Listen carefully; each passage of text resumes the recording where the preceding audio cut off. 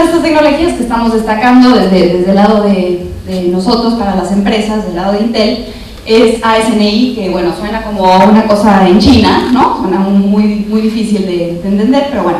AES es un estándar de la industria y, y, lo que hace Intel es las seis instrucciones matemáticas más importantes de la AES las puso en el procesador. Entonces, cada vez que, por ejemplo, se tiene que hacer una encriptación de datos, bueno, nosotros tenemos ASNI que lo va a hacer, te va a ayudar a hacerlo hasta cuatro veces más rápido. ¿Sí? Bueno, y, ok, ahora vamos al otro que estuvo también bastante divertido con el Poison Pill. Como vieron, hasta la cancioncita está súper pegajoso el Poison Pill y el tema del anti de la tecnología de Intel. Ahí está. Bueno. Eh, tecnología anti ya tenemos, desde la generación previa, no sé, ahora me engañan, a ver desde cuándo. Pero bueno, lo que tenemos de cambio en este año tenemos Anticep desde el Core i3. Core i3, Core i5, Core i7 tienen tecnología Anticep y lo que cambia es que ahora Anticep está separado. Antes estaba dentro de Vipro y ahora lo tenemos separado, una cosa diferente. Entonces, bueno, como lo vieron ahí ejemplificado, es, es, es la idea de cómo debería de funcionar de una u otra manera, ¿no?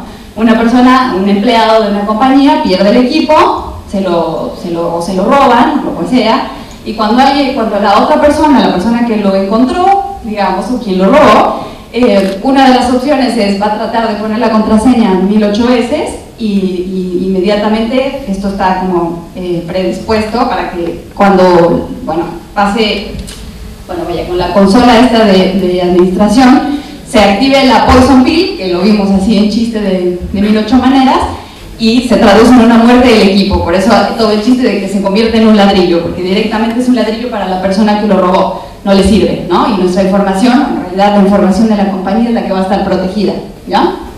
Pro es la tecnología para gestión remota y la súper gran diferencia y gran beneficio es que es vía hardware, ¿no? que es, es a, a través del procesador.